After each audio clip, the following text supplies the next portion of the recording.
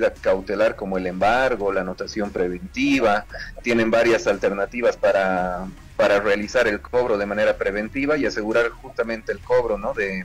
de la deuda impositiva que tiene la Asamblea. Ahora, ¿la Asamblea Permanente de Derechos Humanos está en posibilidades de pagar esa deuda? Es decir, la señora, a la cabeza de la señora Amparo Carvajal, no digo que la señora Amparo la pague, pero ¿están en posibilidades de hacerlo? La verdad es que desconozco en este momento, casi mira, cuál es la, la situación económica de la Asamblea y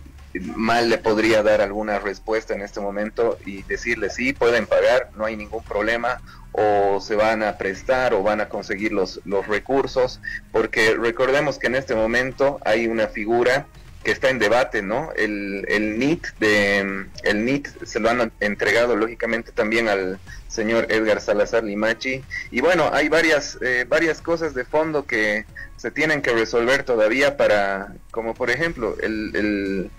la presidencia, ¿no? Ahorita se está debatiendo, el señor Edgar Salazar Limachi dice que es presidente, la señora Amparo Carvajal, eh, mediante documentos, claramente es la presidente legítima de esa Asamblea Permanente de Derechos Humanos, entonces tampoco se sabe a quién se va a dirigir, va a estar en un conflicto también la alcaldía para saber a quién van a dirigir esa, ese cobro, ¿no?